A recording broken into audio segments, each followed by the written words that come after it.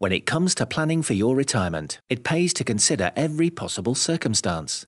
Hopefully, we'll have long and happy retirements, doing the things we always wanted to do with our lives. For many of us, though, there will come a time when we might need some help.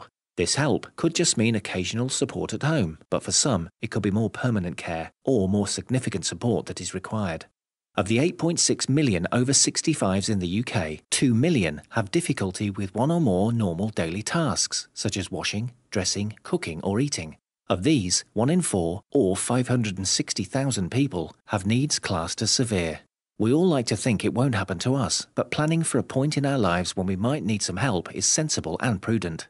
And planning for a point where you might need help doesn't need to hinder your exciting plans in later life. Care planning, as part of a properly developed financial plan, can mean that you both live your life to the full and rest safe in the knowledge that, should something unexpected happen, you'll be able to support yourself or get the help you need.